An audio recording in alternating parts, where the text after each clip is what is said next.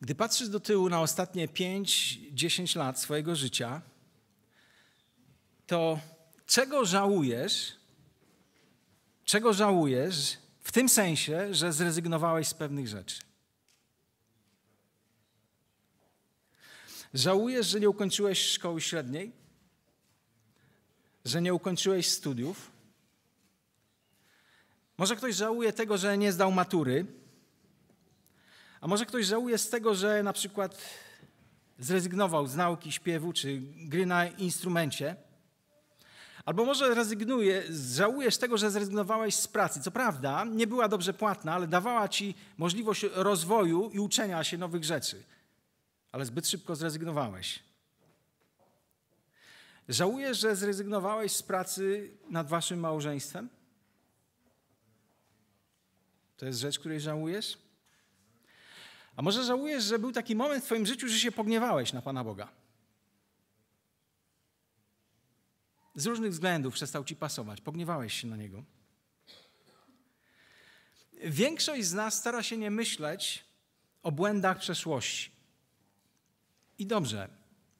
Apostoł również mówi: Zapominam o tym, co za mną i zmierzam do tego, co przede mną, ale myślę, że warto od czasu do czasu popatrzeć na te chwile, w których zbyt szybko zrezygnowaliśmy. Dlaczego tak łatwo zrezygnowałeś? Odpowiedź jest banalnie prosta. Nieskończenie łatwiej jest poddać się, zrezygnować, niż wytrwać. Zawsze rezygnacja jest rzeczą łatwiejszą. Jest łatwiej pójść na podwórko, niż kolejny raz zasiąść za instrumentem i ćwiczyć gamy. Jest dużo łatwiej znaleźć się na podwórku. Jest łatwiej zasiąść przed telewizorem, niż zacząć systematycznie chodzić do szkoły wieczorowej. Naprawdę dużo łatwiej się siedzi przed szklanym ekranem. Łatwiej jest wyjść z mieszkania w czasie konfliktu z Twoim małżonkiem, niż we właściwy sposób rozwiązać ten konflikt. Łatwiej jest wyjść. Jest łatwiej spać dłużej w niedzielny poranek, niż wziąć swoich najbliższych, tych, których kochasz, i przyjść z nimi do kościoła. Jest dużo łatwiej zostać w ciepłym łóżku i w wygodnym domu. Jest łatwiej robić ze swoim życiem to, czego pragnę, to, czego chcę, niż zacząć się kierować tym, co ten, który mnie stworzył, sprawia, że kocham, myślę, wybieram, żeby iść za nim, iść za jego pomysłem na moje życie. Łatwiej jest z tego zrezygnować. Łatwiej jest zrezygnować z naśladowania Jezusa, niż często z pokorą, a niekiedy z bólem być mu posłuszny. Łatwiej się poddać. Prawie zawsze jest nam łatwiej zrezygnować niż wytrwać. Prawie zawsze. Ale rezygnacja bardzo często pociąga za sobą wysokie koszta, i wielu z ludzi i wielu z nas zapłaciło zbyt wysoką cenę za zbyt wczesną rezygnację. Ty znasz te momenty, w których zrezygnowałeś. Wyobraźmy sobie, że jest teraz okres przedświąteczny, się przynajmniej zbliża i w ten czas, w tym okresie tak bardziej naturalnie ludziom się myśli o, no nie wiem, o, o Jezusie, o Panu Bogu, o stajence, o tego typu klimatach. I teraz loteria, nie wiem, polska loteria Lotto wpadła na pomysł, że tym razem główną wygraną w tych y, kolejnym wydaniu, nie wiem jak to się nazywa, zakładach, nie będzie na przykład 10 milionów złotych, ale główną wygraną będzie możliwość wygrania cechy charakteru, którą jest wytrwałość. Nie myślę, żeby dużo ludzi było gotowych obstawiać tego rodzaju zakłady. Ale część by obstawiła. I w dniu ogłoszenia tego, los, tego losowania ludzie siedzą przed odbiornikami, telewiz- y, przed telewizorami, słuchają przekazu w radio, no i dowiadują się, że zwycięzcą, tym razem zwycięzcą tej wielkiej loterii jest pan Mietek. Ma 44 lata, mieszka w Warszawie, pracuje w dużej sieci handlowej. Wszystkie główne media są na niego nacelowane, jest szum medialny przez 2-3 dni. On udaje, że jest szczęśliwy, że wygrał tą, tą, tą, tą loterię tym razem, ale po dwóch, trzech dniach ten kurz medialny opadł i zapomniano o panu Mietku. Ale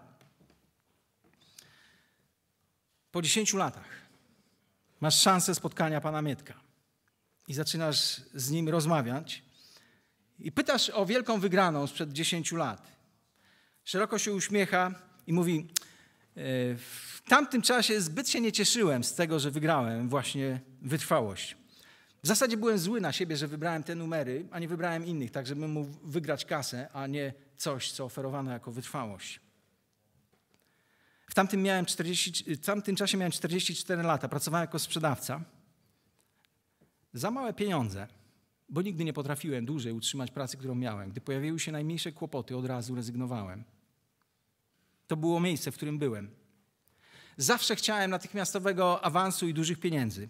Kiedykolwiek pojawiały się problemy, moją pierwszą reakcją była rezygnacja. Ale od tego czasu, gdy otrzymałem, wygrałem wytrwałość, rzeczy zaczęły się zmieniać. Zostałem w tym miejscu, w którym pracowałem przez następnych 10 lat. Wykonywałem powierzoną pracę najlepiej, jak potrafiłem. Podjąłem, skończyłem maturę w szkole y, wieczorowej. Później wieczorowo zacząłem studiować. E, dzisiaj jestem zastępcą głównego kierownika całej tej sieci. W tamtym momencie, 10 lat temu, moje małżeństwo praktycznie byliśmy w separacji, było na krawędzi rozpadu. Ale dzięki temu, że pojawiła się wytrwałość, zacząłem pracować nad tą relacją i jesteśmy dzisiaj spełnionym, kochającym, szanującym się małżeństwem.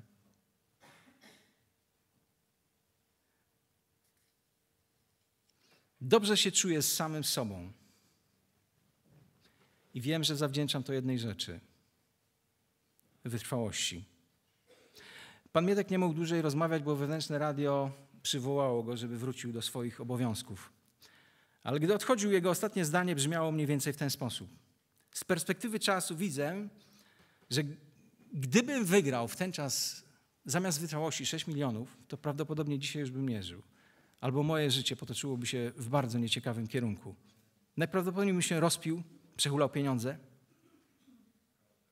Ale dzięki temu, że wygrałem wytrwałość, stałem się zupełnie innym człowiekiem i dzisiaj jestem w zupełnie innym miejscu. Wiecie, żyjemy w takim wieku, który kocha rzeczy, które się dzieją natychmiast, instant. Wszystko ma być teraz, tutaj, a najlepiej jeszcze na wczoraj. Jakub w pierwszym rozdziale, dwunastym wersecie powiada tak, cytuję. Błogosławiony mąż, który wytrwa w próbie, bo gdy wytrzyma próbę, we, weźmie wieniec żywota. Poświęcamy wiele czasu i energii, żeby unikać trudnych sytuacji. Każdy z nas. A te, wedle tego, co pisze Jakub, nasza reakcja powinna być inna. Na początku mówi: Drodzy zaś bracia, za najwyższą radość uważajcie te chwile, gdy jesteście podawani przeróżnym próbom. No chyba gościu przesadził. Chciałbyś dostać takie pozdrowienia na kartce? W dniu urodzin? Poczytuj sobie za najwyższą radość, gdy jesteś poddawany różnym próbom, różnym trudnym sytuacjom. Tak jak wspomniałem, żyjemy w takiej erze, w której unikamy trudnych sytuacji. Ale gdy unikam trudnych sytuacji, to nie może się jedna rzecz z całą pewnością rozwinąć w moim życiu wytrwałość. A wytrwałość jest potężną bronią w arsenale naszego charakteru. I wytrwałość z innymi cechami, jak odwaga, dyscyplina, uczciwość, one nie są w cenie. W naszym świecie te rzeczy nie są w cenie. My chcemy natychmiastowej sławy, natychmiastowego sukcesu, natychmiastowego wzrostu, wręcz natychmiastowej dojrzałości. Wszystko ma być tu i teraz i natychmiast. Chcemy również duchowej dojrzałości. Od razu. Ale gdy nasze oczekiwania się nie spełniają w trakcie jednej nocy, jesteśmy gotowi się poddać i zrezygnować. Dlatego rezygnujemy z uczenia się, z pracy, rezygnujemy z pracy nad swoimi relacjami. I nawet jesteśmy gotowi zrezygnować z misji, jaką Bóg dla nas ma, w ten czas, gdy pojawiają się naprawdę trudne chwile. Stajemy się coraz bardziej pokoleniem, które przegrywa. Wszystko jako rodzice czynimy, żeby wszystkie trudności, wyzwania jak najdalej odsunąć, wręcz pozbawić tych rzeczy nasze dzieci, żeby się z niczym nie zmagały, żeby życie było coraz łatwiejsze, przyjemniejsze, bez problemów. I nie rozwijamy silnej woli. Nie rozumiemy znaczenia wytrwałości, jak potężne działanie ma w naszym życiu. Wytrwałość jest niezbędna przy pokonywaniu życiowych trudności i wyzwań. A nie ma takiego życia, które jest stąpaniem po płatkach róż. Nie ma takiego życia. Prędzej czy później, to nie jest pytanie, czy takie rzeczy nastaną, trudne w naszym życiu. To jest pytanie, kiedy nastaną i co zrobisz w tej sytuacji. Wytrwałość podtrzymuje odwagę. Fajnie być bohaterem przez 15 minut i czasami człowiek, który by nawet siebie nie podejrzewał o to, jest w stanie okazać takie odważne zachowanie. Ale wytrwałość, która jest rozłożona nie przez 15 minut, ale na, czy odwaga w długim przedziale czasu, to jest zupełnie inna kategoria. Wytrwałość pomaga wizję przenieść w świat rzeczywistości. Jeżeli masz wizję, a nie masz wytrwałości, to masz tylko sen. Ale gdy masz wizję i masz wytrwałość, to tworzysz nową rzeczywistość. Jeżeli wytrwałość jest tak ważna, jedna z podstawowych cech charakteru, o której mówi Biblia, nie można jej wygrać na loterii. Tak jak na początku powiedziałem taką bajeczkę o panu Mietku. Nie można tego w ten sposób wygrać. Jak można ją rozwinąć, skoro jest tak cenna? Przez chwilę rezygnacji. Przez przechodzenie przez momenty rezygnacji. Uczysz się wytrwałości, gdy uczysz się przechodzenia i przebijania przez momenty rezygnacji. To tylko w tym miejscu. Uczę się i uczysz się, będziesz się uczył wytrwałości. Jeżeli lubisz biegać, to wiesz o czym mówię. Jesteś na szóstym okrążeniu. Zbliża się siódme okrążenie i wszystko jesteś wypalony, nie możesz oddychać, wszystko cię boli, nogi są jak z waty i tylko jedna myśl. Koniec, wystarczy. Nie ma sensu robić kolejnego okrążenia. To jest pokonywanie chwili rezygnacji w momencie jakiegoś wysiłku y, fizycznego, sportowego. To zdarza się również w pracy. Zbliża się nieubłaganie termin wykonania jakiegoś dużego projektu, skończenia go. I wiesz, że jesteś w stanie to zrobić, goniąc resztkami sił, i w tym momencie pojawia się szef i dokłada ci jeszcze jakąś robotę. Co się dzieje w tobie? To już koniec. Nie wytrzymam dłużej. To jest moment rezygnacji związany z zadaniem, które wykonujesz. W małżeństwie kłócicie się 30 raz o tą samą rzecz. I dzisiaj z rana żona powiedziała takie słowa, które były jak dolanie benzyny do ognia. I wszystko w tobie krzyczy: To koniec, nie ma sensu. Składam wniosek, sprawę o rozwód. To moment rezygnacji w małżeństwie. Albo pracujesz nad swoim charakterem zmaga się, walczysz z jakimś grzechem, a ktoś ważny dla ciebie zaczyna żartować sobie z ciebie i z tego, co próbujesz zrobić w tej dziedzinie ze swoim własnym życiem. Śmieje się, że próbujesz być doskonały. Dlaczego dalej walczyć? Dlaczego to robić, gdy inni tak robią i nie mają z tym problemu? Dlaczego ja miałbym z tego zrezygnować? Dlaczego nie miałbym popłynąć z prądem? To moralny moment rezygnacji.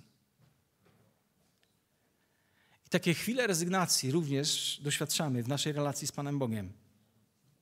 Działa w Twoim życiu, doświadczyłeś ważnych zmian w swoim życiu. Wiesz, że jesteś we właściwym miejscu, prowadzi Cię właściwą drogą, ale wstawia kolejne wielkie wyzwanie. I wahasz się, komu zaufać. Jemu przy sobie. Czy jest rozsądne dalej ufać Bogu? Czy wybrać swoją ścieżkę?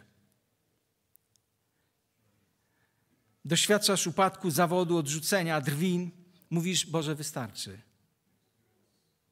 Za dużo. Dałeś mi więcej niż mogę. To moment duchowej rezygnacji. Jest wiele innych momentów, wiele innych sfer, które są zagrożone tego rodzaju postawą. Dotyczy to nauki, emocji, relacji, psychiki. We wszystkim, co robisz, w pewnym momencie dojdziesz do momentu, w którym nie będziesz mógł myśleć o niczym innym niż tylko o uldze, o odejściu i o rezygnacji. Za czasów moich rodziców rezygnacja nigdy nie była postrzegana jako coś wartościowego, jako coś cennego. Dziś często wychwala się i promuje rezygnację. Nie wierzycie? Ktoś, kto ogląda różne bajeczki w telewizji i widzisz, jak bohater jakiegoś serialu jest w trudnej, konfliktowej sytuacji w pracy, szef od niego czegoś wymaga, a ten pracownik się z tym nie zgadza, jest zbliżenie kamery na czoło tego gościa, a tu grzyły są napięte, wszystko drga i wreszcie on wstaje i mówi rezygnuje. Odchodzi drzwiami trzaska. Jest reklama. A ty o czym myślisz? Pewnego dnia ten sam numer wykręcę mojemu szefowi to przed całym biurem. To jest nam lansowane.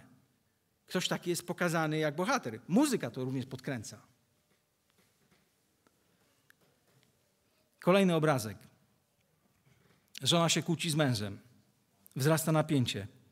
Żona w wybuchu złości uderza swojego męża w twarz. Obraca się na swoich wysokich obcasach i wychodzi z trzaskiem drzwi. A ty siedzisz, patrzysz i co myślisz? Pewnego dnia zrobię to mojemu staremu. Tak odejdę z klasą. Ale oglądając takie sceny, nie myślisz, że ten facet jest bez pracy. Oglądając takie sceny, nie myślisz, że kobieta jest rozwiedziona. Oglądając takie sceny, nie masz świadomości, że jej dziecko nie ma każdego dnia swojego taty. Tego już ci nie pokażą. To, co widzimy, to widzimy uwolnienie, będące wynikiem rezygnacji. Boża prawda neguje tego rodzaju podejście wskazuje na coś zupełnie innego. Cytuję: Błogosławiony człowiek, błogosławiony człowiek, który wytrwa, albo szczęśliwy człowiek, który wytrwa w próbie. A kto wytrwa do końca, będzie zbawiony. Myślę, że muzyka i światło powinno być skierowane nie na tych, którzy rezygnują, ale którzy trwają, wbrew wszystkiemu i wszystkim w miejscu, które dawno powinno ich zatopić. To są ludzie, którzy robią krok dalej i mówią: Boże, z Twoją pomocą przejdę. Gdy taką masz postawę w tych trudnych momentach, w niebie dla Ciebie i dla mnie grają fanfary. Jesteś kimś niezwykłym dla Boga w Bożych oczach. Jeżeli jesteś w takim momencie w swoim życiu, w momencie rezygnacji, zachęcam Cię do policzenia kosztów rezygnacji. Rezygnacja nie jest czymś chwalebnym, nie rozwija charakteru. Bóg tego nie błogosławi, nie może. I w większości przypadków będziesz tego żałował bardzo długo, czasami do końca życia. Wczoraj spotkałem człowieka. Opowiedział mi o swojej mamie, niezwykłej kobiecie. Pan Bóg zmienił jej życie. Była taką bardzo mocną osobowością w pewnej małej wiosce, gdzieś pod Bydgoszczą.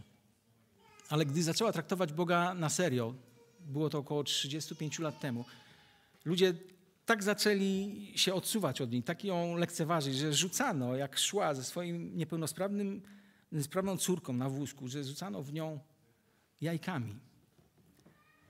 I ona się wyprowadziła do dużego miasta. ale po kilkunastu latach, rozmawiając ze swoim synem, powiedziała: Szkoda, że to zrobiłam. Powinnam była zostać. Dzisiaj ta wioska byłaby innym miejscem i tam ludzie by byli inaczej by siebie traktowali, gdybym została.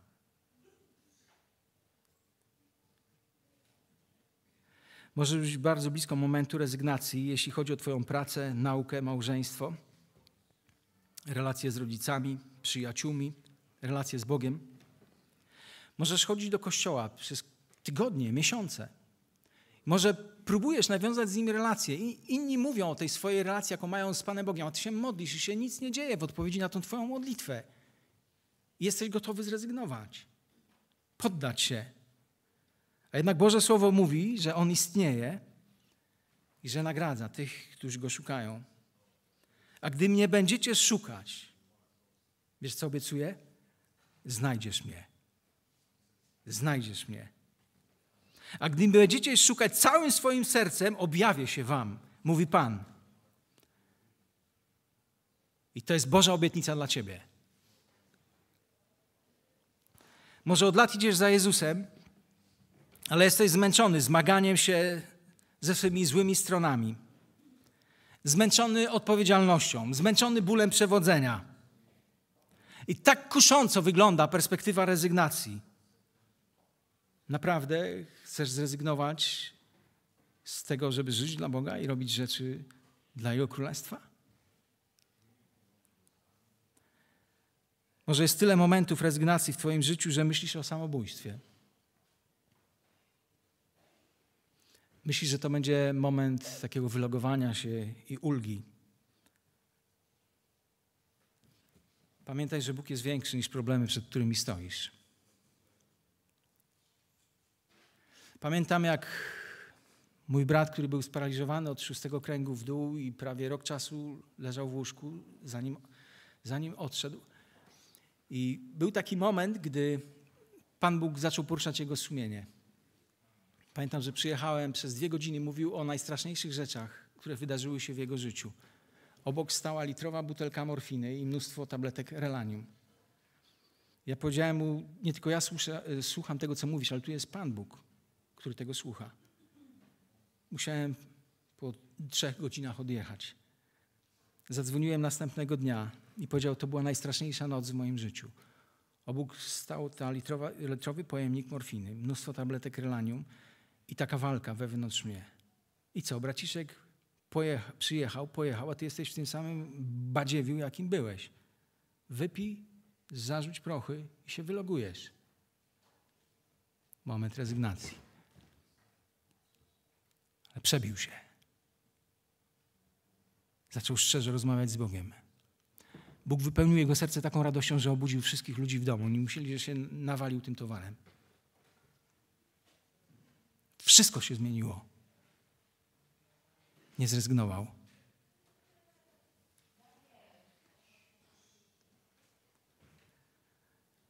Jeżeli myślisz o rezygnacji, o odejściu, jest Bóg, z którym to pokonasz. Poproś go i pokaże ci ścieżkę. I przejdziesz. Powiedz Bogu, Boże, chcę Tobie zaufać. Przeprowadź mnie przez ten moment rezygnacji, gdy chcę się poddać. Ufam Ci, że cały znajdę się po drugiej stronie. Idę. Tym jest dla Ciebie Pan Bóg? Wytrwałość dla mnie jest bardzo ważna i bardzo cenna i po, pomogła mi w bardzo wielu i trudnych momentach mojego życia, gdy byłem przyparty do muru. Kuszony, by zrezygnować ze służby, którą wykonuję, zająć się normalnym życiem, normalną pracą.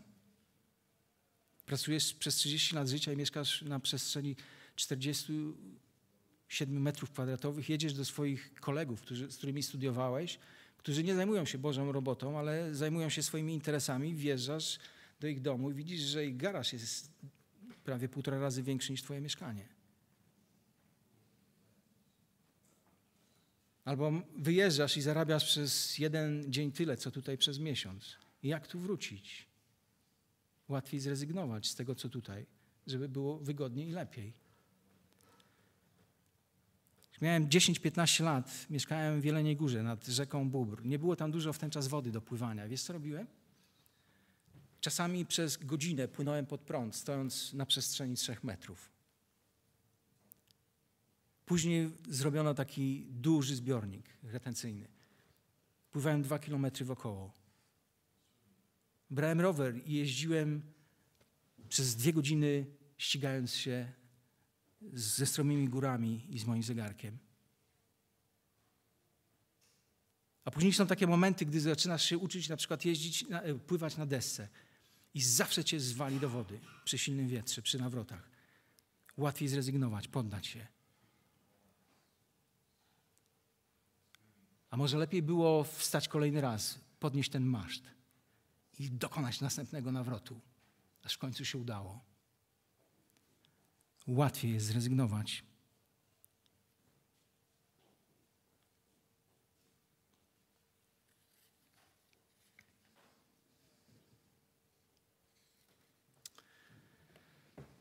Za każdym razem, gdy przebijasz się przez takie trudne momenty, punkt rezygnacji, udowadniasz sobie, że te punkty, te momenty nie są tak mocne, jak o nich myślisz. Z Bożą, przemocą, z Bożą pomocą może się przez tę chwilę przebić. I wiesz, co będzie rezultatem? Za każdym razem, gdy się przebijesz, będziesz kimś silniejszym. Następnym razem, nawet gdy góra, przed którą staniesz, będzie wyższa, to dzięki wytrwałości ją pokonasz. Pracuję w takim małym biurze, które może ma 2,5 metra kwadratowego, wiesz? I często w momentach rezygnacji patrzyłem na półkę po lewej stronie, tam stała książka grzbietem do mnie i tam było napisane never give up. Never give up. To znaczy nigdy się nie poddawaj.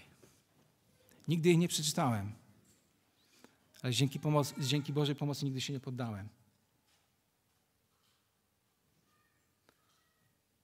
Bo mam Boga o którym wiem, że przeprowadza mnie przez największe momenty rezygnacji.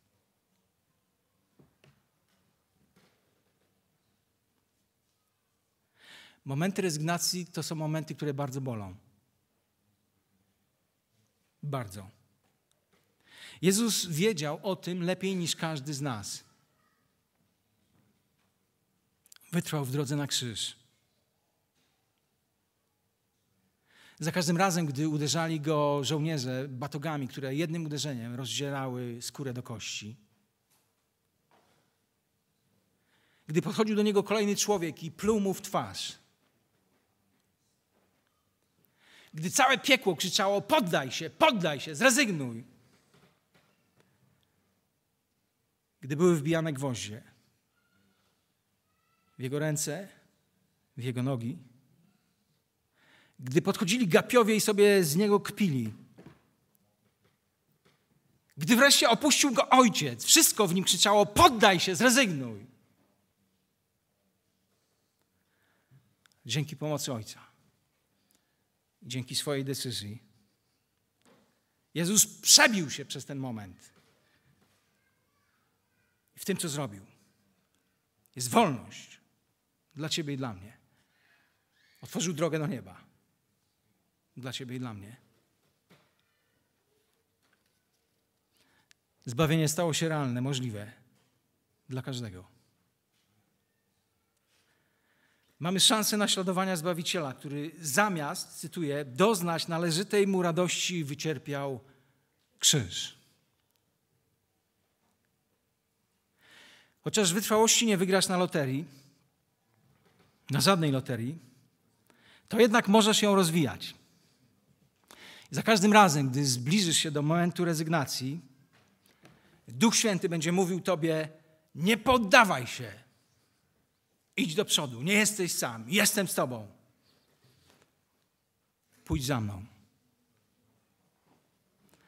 To, co przed, sto, przed czym stoisz, to nie jest mur z cegły. Ze mną, dla mnie, to jest mur z tektury i z papieru.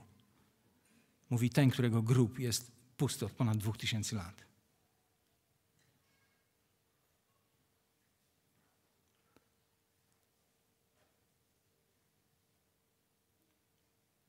Czy chcesz dalej sobie sam radzić?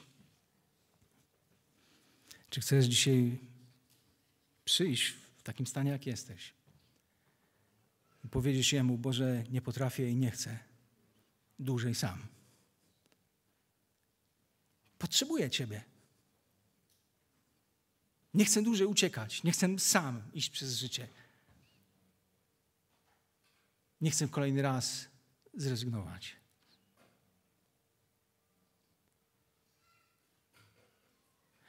Nie mów Bogu o tym, jak wielkie masz problemy. Powiedz swoim problemom, jak masz wielkiego Boga. Powiedz również sobie. Powstańmy i módlmy się.